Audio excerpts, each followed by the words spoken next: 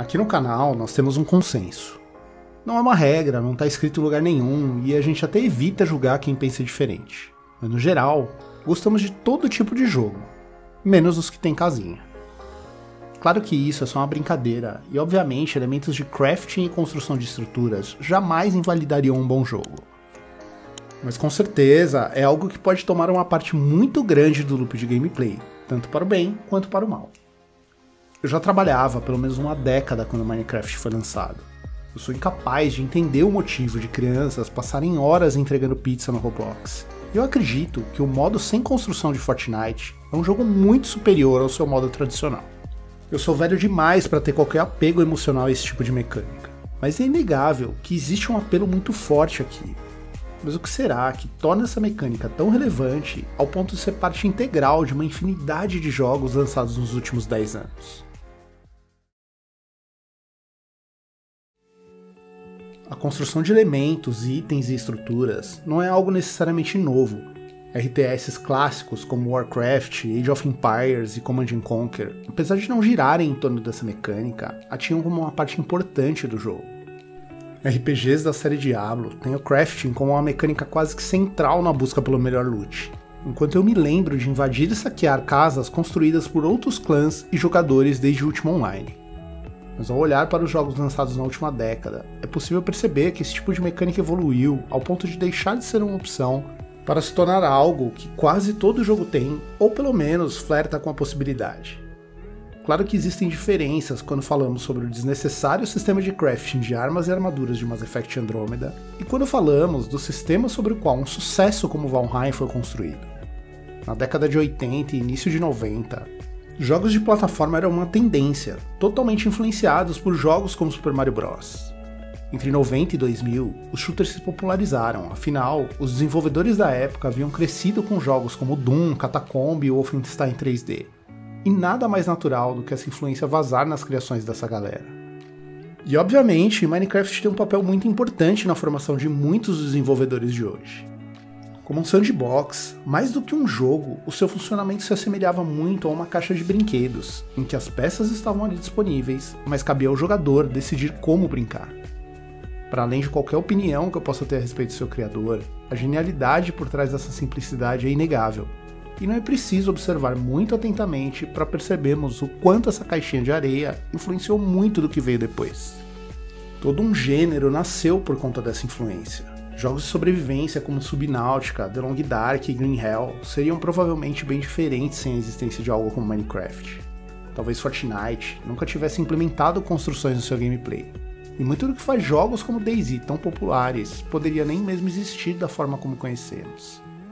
A influência foi tão grande que até alguns anos atrás, jogos que não tinham a menor necessidade de um sistema de crafting passaram a contar com um, simplesmente para preencher uma caixinha no checklist maluco do que executivos acham que faz um jogo vender. A indústria evoluiu, os desenvolvedores passaram a lidar melhor com esses sistemas. E curiosamente, hoje em dia até mesmo eu sou capaz de apreciar jogos que se apoiam nessa mecânica. Porém, no meu caso, e que fique claro que eu estou falando de um gosto pessoal, existem algumas formas de chamar a minha atenção para jogos desse tipo.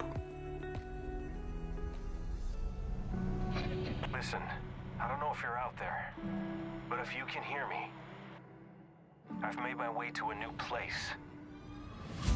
It feels different. State of Decay 2 é um jogo que grita o quão baixo seu orçamento foi.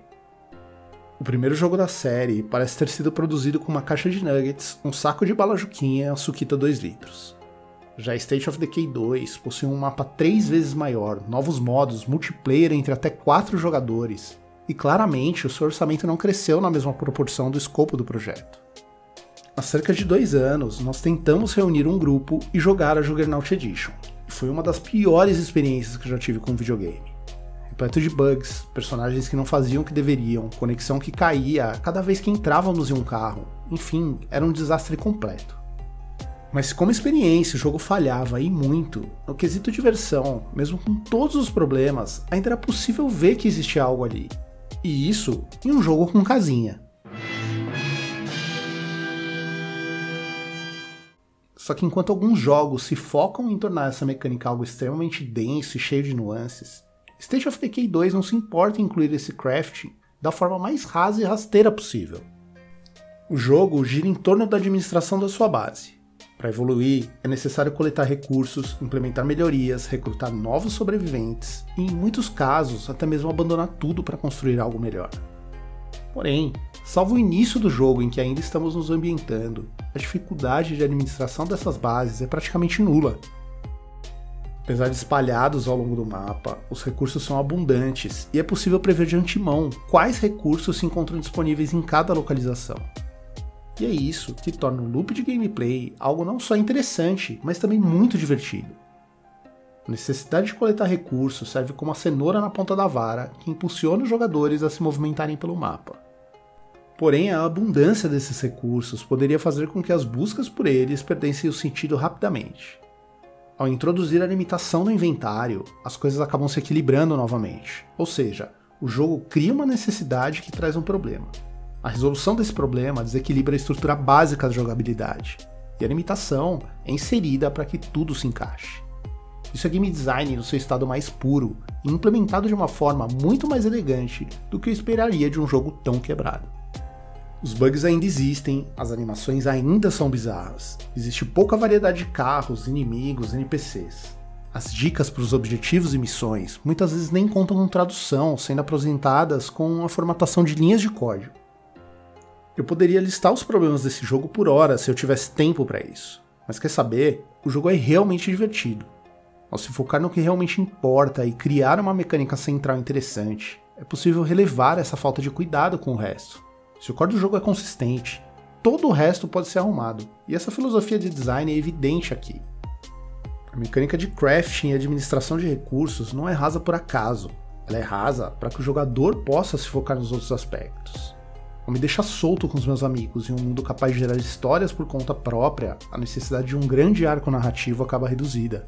Ao colocar empecilhos mínimos no nosso progresso, os devs ainda conseguem guiar nossa experiência mas eles ainda permitem que nós criemos nossas próprias histórias. Focar nos pontos fortes é melhor do que tentar ser tudo ao mesmo tempo e falhar miseravelmente. Mas se simplificar uma mecânica gera um gameplay tão divertido, é possível fazer o mesmo com algo mais complexo?